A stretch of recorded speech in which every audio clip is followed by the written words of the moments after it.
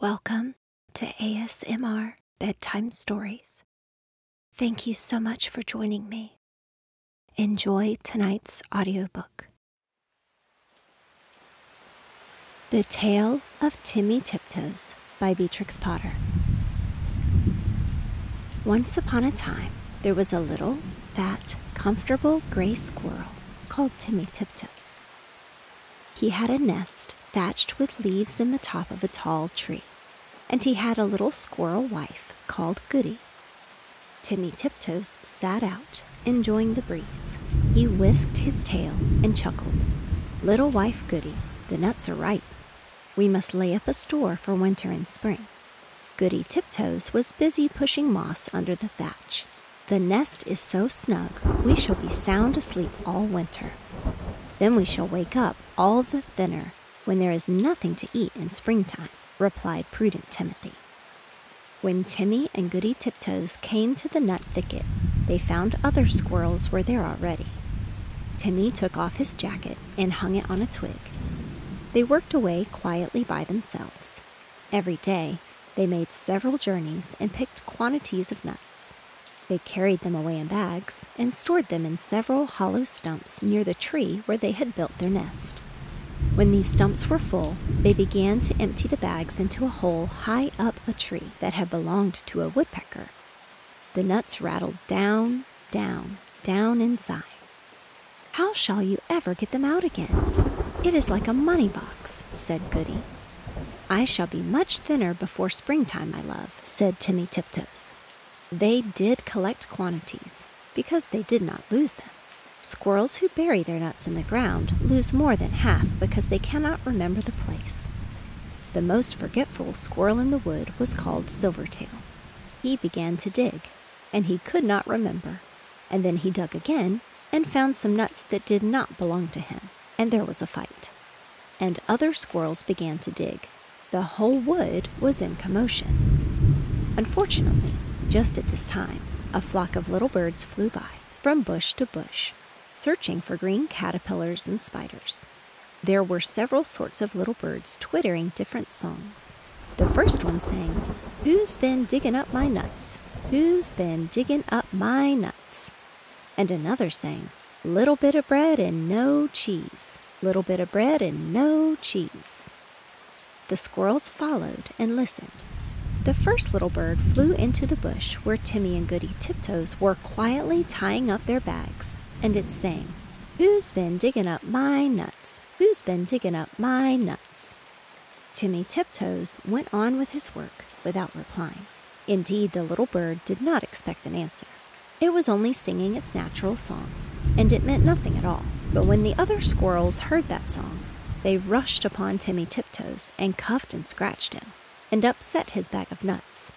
The innocent little bird, which had caused all the mischief, flew away in a fright.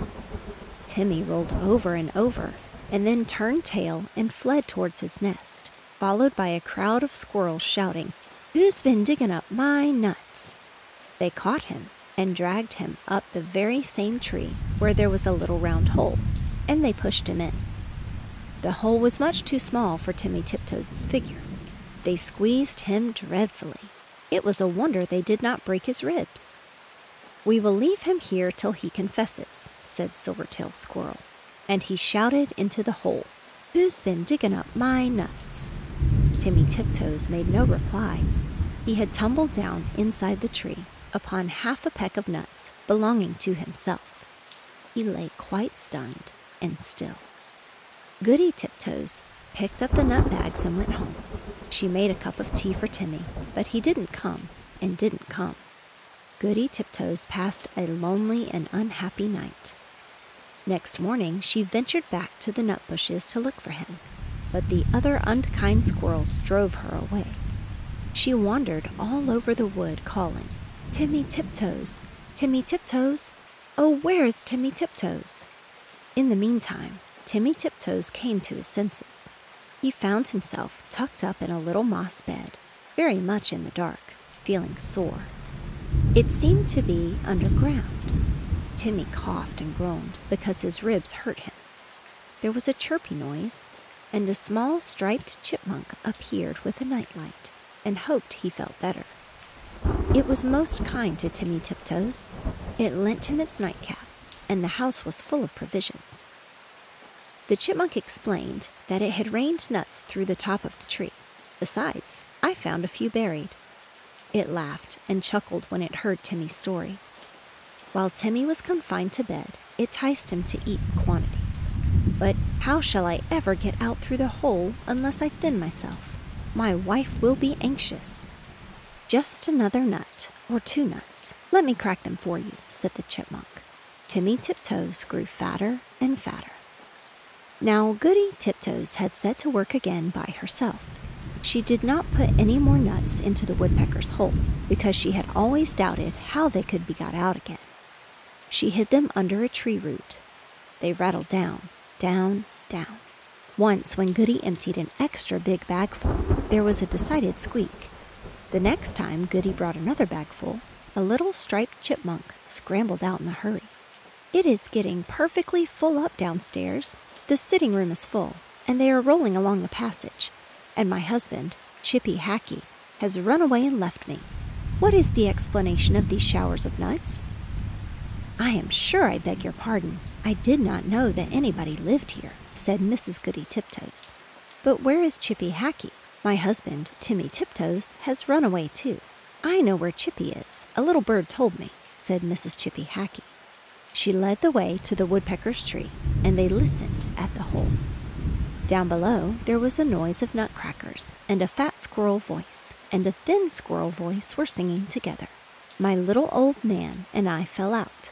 How shall we bring this matter about?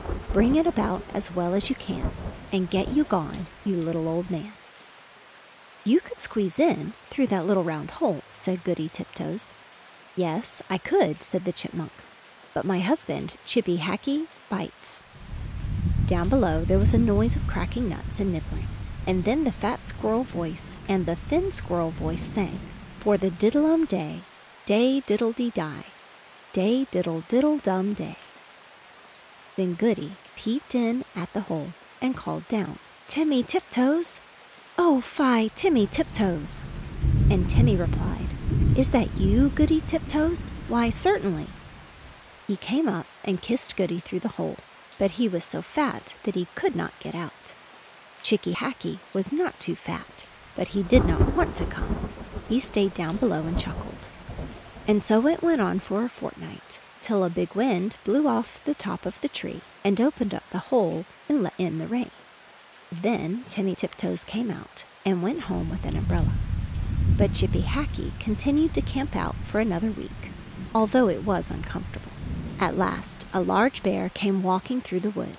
Perhaps he also was looking for nuts. He seemed to be sniffing around. Chippy Hackee went home in a hurry, and when Chippy Hackee got home, he found he had caught a cold in his head, and he was more uncomfortable still. And now Timmy and Goody Tiptoes keep their nut store fastened up with a little padlock. And whenever that little bird sees chipmunks, he sings, Who's been digging up my nuts? Who's been digging up my nuts? But nobody ever answers.